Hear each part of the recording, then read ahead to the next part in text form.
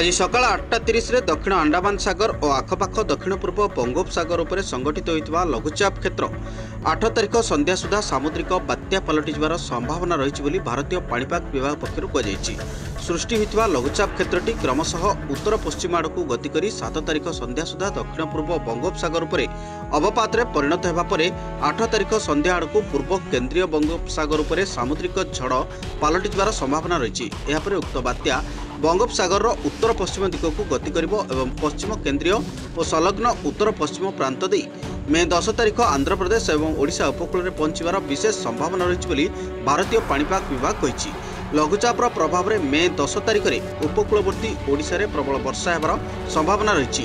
ବାତ୍ୟା ପ୍ରଭାବରେ ପଶ୍ଚିମ କେନ୍ଦ୍ରୀୟ ଏବଂ ସଂଲଗ୍ନ ଉତ୍ତର ପଶ୍ଚିମ ଏବଂ ପୂର୍ବ କେନ୍ଦ୍ରୀୟ ବଙ୍ଗୋପସାଗରରେ ମେ ଦଶ ତାରିଖ ଦିନ ଘଣ୍ଟା ପ୍ରତି ଶହେ କିଲୋମିଟର ପବନ ଝୁଙ୍କ ସହ ଅଶୀରୁ ନବେ କିଲୋମିଟର ବତାସ ବହିବ। ସମୁଦ୍ର ଅଶାନ୍ତ ରହୁଥିବାରୁ ମତ୍ସ୍ୟଜୀବୀଙ୍କୁ ସମୁଦ୍ରକୁ ଯିବା ପାଇଁ ମନା କରାଯାଇଛି। ଗଞ୍ଜାମ ଖୋର୍ଦ୍ଧା ପୁରୀ ଜଗତସିଂହପୁର ଜିଲ୍ଲାରେ ପ୍ରବଳ ବର୍ଷା ହେବାର ଆଶଙ୍କା ରହିଛି। ব্যুরো ইনপুট সহ সুশান্ত পট্টনায়ক সকাল খবর।